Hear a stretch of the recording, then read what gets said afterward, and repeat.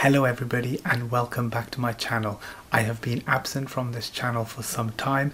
That has been due to just life commitments including exams and family but now I am back and I am hoping to release videos regularly to try and help the understanding of eye conditions and eye pathology. So thank you so much for your patience. Let's get learning.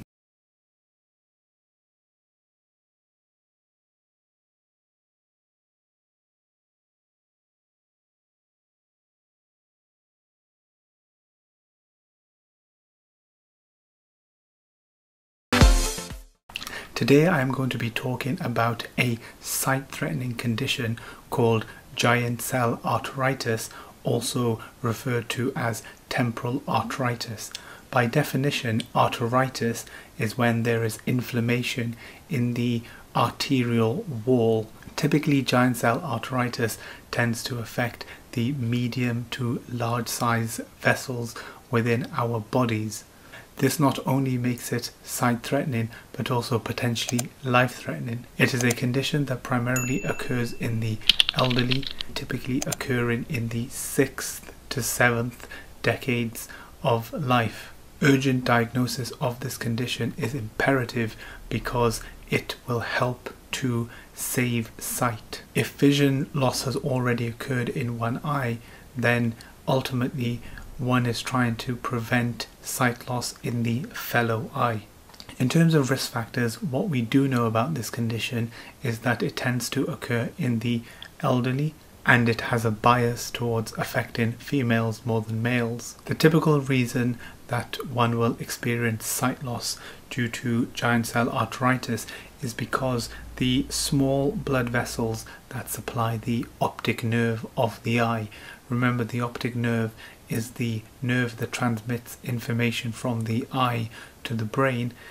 If the small blood vessels to the optic nerve become compromised and damaged, therefore the optic nerve is unable to function appropriately, then sight loss starts to occur. The specific blood vessels that get damaged as part of giant cell arteritis are the short posterior ciliary arteries. There are certain conditions in medicine that can be diagnosed from a simple test, which may be a blood test, which may be a scan. In terms of giant cell arteritis, it usually involves a combination of different aspects and investigative approaches coupled with the clinical examination of a patient that helps us to reach a diagnosis. So a good clinical history and examination will set alarm bells racing in one's mind as to the possibility of giant cell arteritis. This is then coupled with a blood workup which importantly will look at a full blood count, namely the platelet component of a full blood count and also look at inflammatory markers such as a ESR, which is a erythrocyte sedimentation rate. The ESR is typically elevated in giant cell arteritis. The clinical examination, the blood workup, usually are enough for a diagnosis of giant cell arteritis. However, other investigative modalities include a ultrasound scan and the possibility of performing a temporal artery biopsy. The key thing to remember with the possibility of a diagnosis of giant cell arteritis is the fact that one should always have a high index of suspicion as it is a diagnosis not to miss due to the irreversible sight loss that can occur if untreated. What I will now talk about is the classic hallmark features, both from an eye point of view and then from a systemic point of view that occur with giant cell arteritis. So in terms of the ocular manifestations, classically patients will complain of sight loss or visual disturbance. Other components of ocular disturbance or ocular symptoms can include double vision, temporary losses of vision, which is also referred to as amaurosis fugax, and also patients can complain of visual field loss, which is essentially when chunks of their visual field, i.e., the world around them, will be missing due to damage to nerve fibers that pass through the optic nerve. The classic textbook features from a systemic point of view which point to a potential diagnosis of temporal arteritis include temporal headaches, jaw claudication, flu-like symptoms, scalp tenderness, weight loss and fatigue. It is imperative that a eye care specialist examines a patient who is complaining of visual symptoms with the possibility of an underlying diagnosis of temporal arteritis. In terms of the clinical examination, it will initially center upon a key history from the patient to ask about the pertinent symptoms. This will then progress into a good, thorough clinical examination to include initially assessing somebody's visual acuity, then checking their pupillary responses, also checking other functions of the optic nerve to include color vision, to include imaging of the optic nerve and clinical examination of the optic nerve. So indirect visualization of the optic nerve using a slit lamp and a lens, OCT disc if available, and then visual field functioning. In addition to this ocular clinical examination, cranial nerves should also be examined and also eye movements. In terms of the clinical examination and actually looking at the optic nerve head, dependent on the stage of the temporal arteritis. in the acute phase, one should be looking for a swollen optic nerve head, including peripapillary hemorrhaging and cotton wool spots. A key clinical tip to note at this stage is the fact that one should always look for the presence of a central retinal artery occlusion when one is suspecting a giant cell arteritis type picture as they potentially both can occur at the same time and therefore having devastating consequences for the patient. In terms of the treatment for giant cell arteritis, the mainstay of treatment, which is imperative to begin promptly to try and preserve sight in the fellow eye, is steroids, steroids, and steroids. Patients are typically admitted to a hospital ward and receive IV methylprednisolone to try and give them sufficient amounts of steroid to try and combat the arteritis that is ensuing their body. In terms of steroid therapy, this will continue for several months and the steroid dosage will be tapered according to clinical response.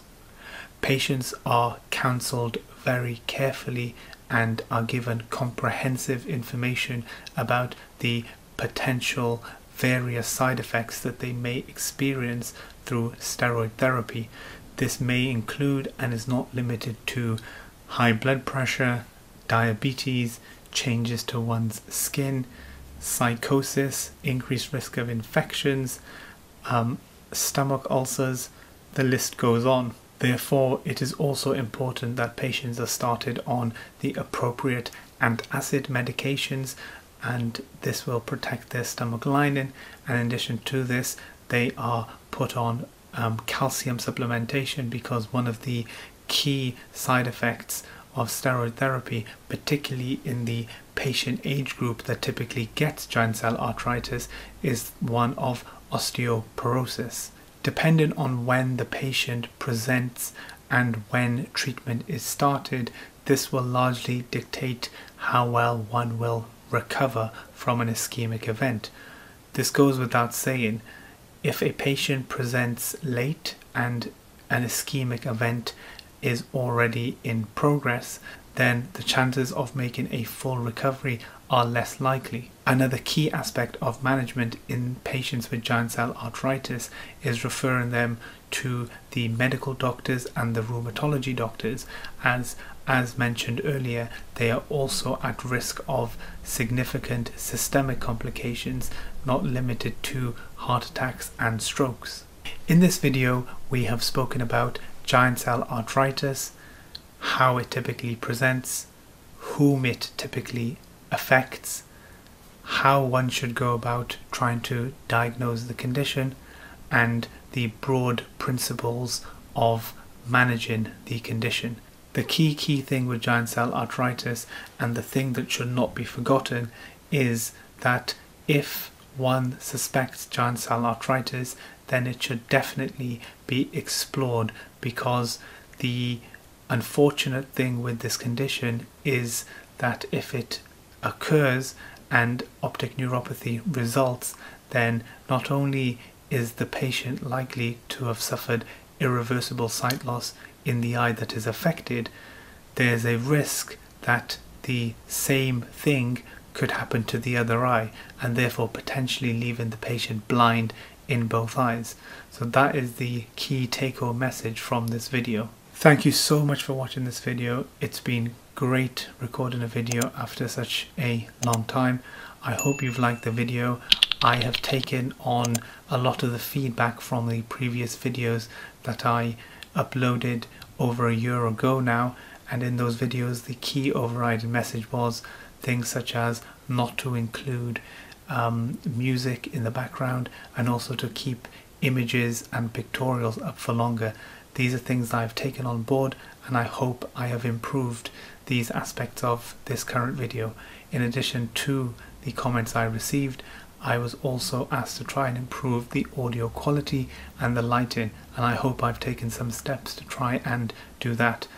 My endeavour is to try and improve with every video so I welcome every source of feedback um, as critical as it may be. So please do keep posting. Please give this video a thumbs up a like and if you are new to this channel please please please subscribe.